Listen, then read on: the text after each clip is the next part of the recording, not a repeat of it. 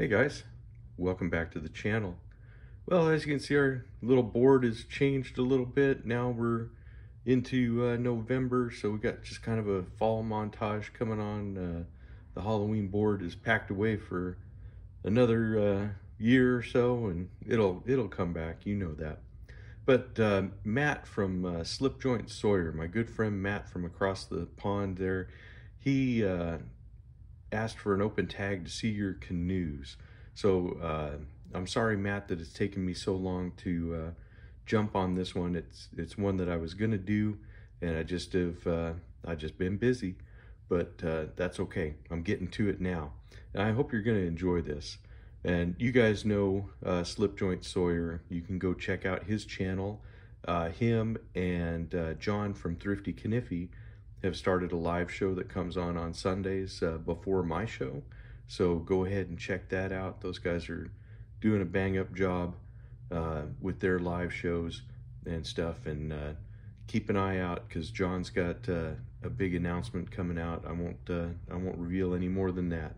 So you guys uh, will have to tune in to see that. But let's talk about canoes. Let's talk about the knives. I'm not going to get all into the history of the canoe pattern or any of the other stuff like that. We're just going to kind of go through my my collection of them. When I started collecting traditional knives, this was one of the first ones I bought. Was this uh, Rough Ryder? Uh, I had just discovered uh, Rough Ryder knives and Smoky Mountain Knife Works, and I got this one. This is in the uh, titanium series, and uh, this and a uh, copperhead. They were my first forays into the traditional knives. And I really liked that the tangs were covered. And these are, you know, pretty small handy knives. You can move up a little bit if you need to get a four finger grip. But uh, if you're just holding on to the uh, handle itself, your pinky may or may not fall off. Uh, but all of them are about the same. You have a uh, nice uh, spear blade, and I love the, the long pull on this one. I think that just really looks great and then you'll have a uh, pen blade on the other side. You know, so just uh, this one is coated uh, with that uh, titanium, and these are this is an older series. The bone was actually uh, really black and dark when I got it, but it is really uh, grayed out, and you know it's really I think quite striking it's funny because I'll I'll think of it and I'll I'll say where is that black canoe? And I was like oh yeah it's not black anymore. It's uh it's definitely lightened up uh, carried this for quite a while. Uh, just a very handy knife and one that uh, that I still like uh, to this day. My second Rough Ryder uh, was the Blue Mule series. I wanted to try out a real true working knife. So it's got the uh, G10 uh, covers and then it has uh, lined uh, bolsters on it. And this uh, has a pretty good snap, pretty good pull. And it is, uh, I think, really a, a, very handsome. It's a little more of a, a more bulbous shape at the end of the nose. It's not as, I guess, when you think of a spear blade, I kind of think of, of, this, but you know, then you have this one here. It's they're both about the same, but this is almost more drop point like I think with the swedge than uh, the other one. But definitely a good series, the Blue Mule. Uh, I have the uh, Sunfish in that uh, series as well. And of course you still get a really good, uh, good size pen blade. So that was it for my Rough Ryder collection. Oh, no, it's not. I got one more. I, I looked down and I saw it. I got this one, the Carbon Classic 2. And I did a patina, a forced patina on the uh, blades following uh, Mr. Barlow's advice. And, and so it uh, is some uh, apple cider vinegar on there. So that, uh, that got that all, all teenered up gave it a, a coating and then you have the uh, blade as well which uh, almost got like a, a double coating of, of, that because it was uh, closed above uh, when this one was getting it soaking and uh, it really uh, turned almost a, a, black, but it's kind of mellowed out as well. But you can see how it's a little bit darker on the than the other blade. But yeah, this is cool too with the uh, Carbon Classic 2. You get the uh, micarta covers, the blue liners, and everything, and just a, a really fun knife. I really do like that one. I have a couple of the uh, Queen knives. This is the saw cut bone. This was the first of the of the Queen uh, knives that I got. Uh, it's just still, I think, one of the finest uh, examples. I mean, I love the saw cut bone. I love how thin it is. Fit and finish are superb. You know, this is just a really fantastic knife. And just uh, very cool. I, I like that one a lot. The other one I have is the Winterbottom bone. And that is one that uh, kind of went against the pattern. John and I both pointed out that the tang is actually above the uh, bolster. And so it's, uh, I wanted to get one because I like the Winterbottom bone. Uh, and it says Queen Steel on it, which is nice. Uh, again, a good, uh, a good blade.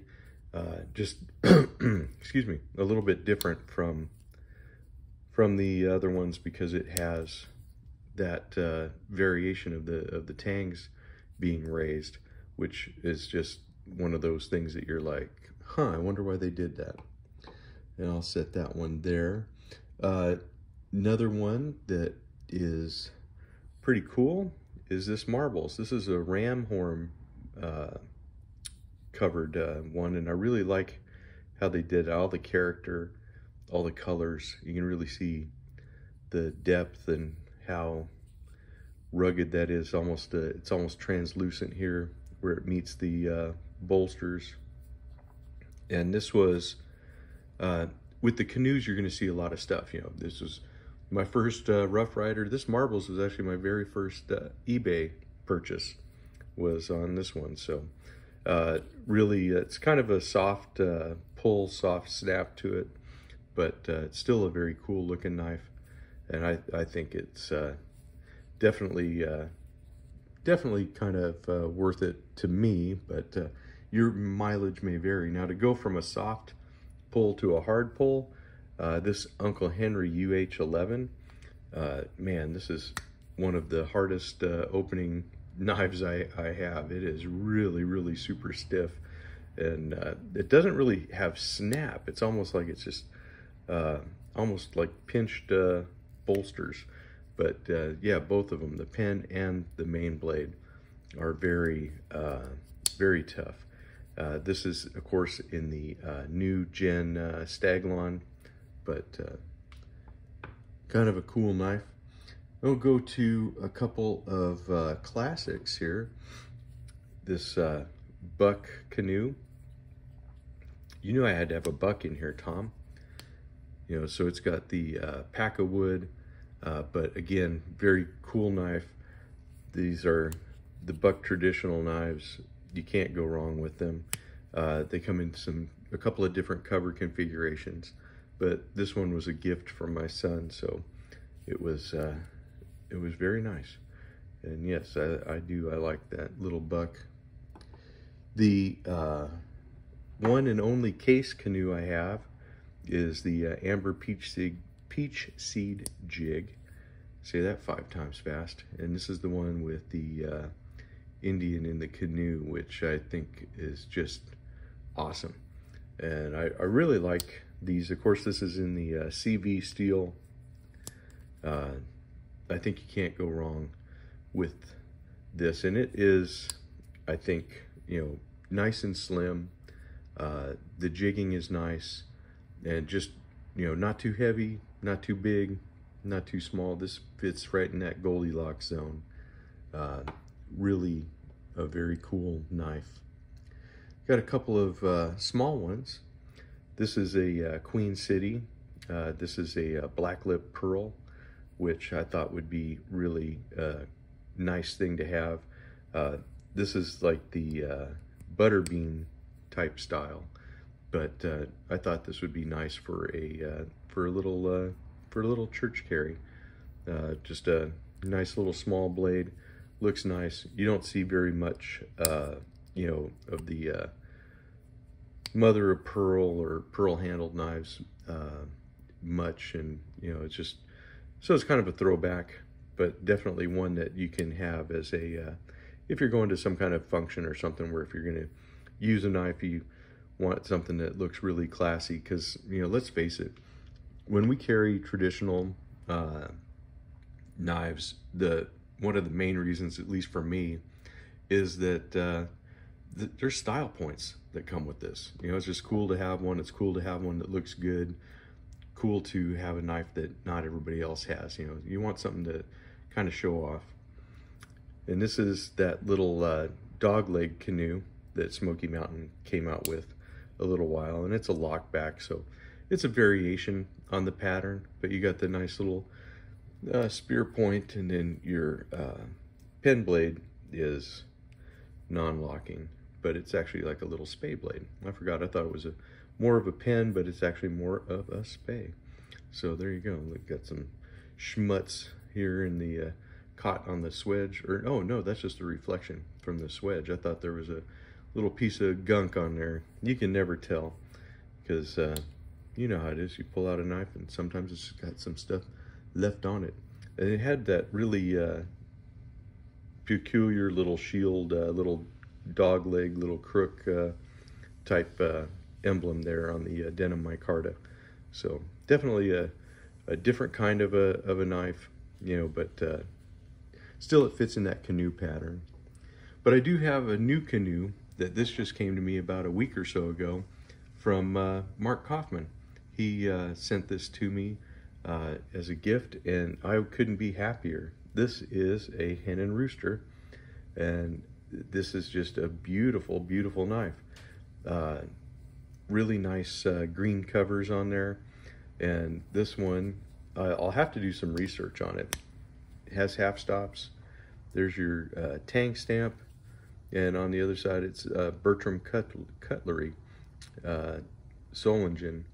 So this is the uh, the hen and roosters that everybody's really looking for. Those really nice uh, German-made uh, ones, and the fit and finish is just perfect on it. You have another uh, tang stamp there, but what a sweet little knife. I mean, talk about uh, nice and thin disappears in your pocket. Uh, I couldn't be happier. But yeah, this is uh, the second hen and rooster knife that I've uh, that I've picked up. But yeah, just a really really beautiful jigged bone there. Just awesome, just gorgeous. Thank you, Mark. Uh, definitely has a uh, a place of honor in the collection.